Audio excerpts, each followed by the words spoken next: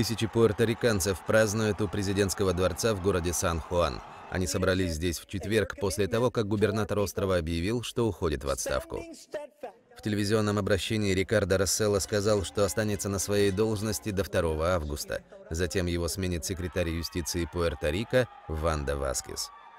Сегодня я ощущаю, что если останусь на этой должности, то это помешает успеху страны. Выслушав требования, поговорив с семьей, подумав о своих детях и помолившись, я принял решение. С грустью объявляю, что ухожу с поста губернатора.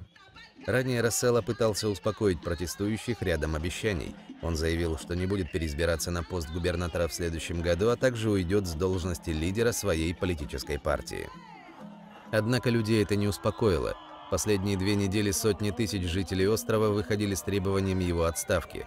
В один из дней было зафиксировано максимальное число из полумиллиона протестующих. Политический скандал разгорелся после публикации личной электронной переписки губернатора в середине июля. Людей возмутили его некорректные высказывания по поводу некоторых политиков и знаменитостей. Кроме того, протестующие обвиняли Расселла и его окружение в коррупции. Пуэрто-Рико – это территория, находящаяся под управлением США.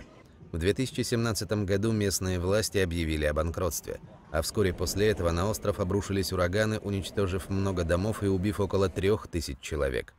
Спустя два года страна по-прежнему не восстановилась.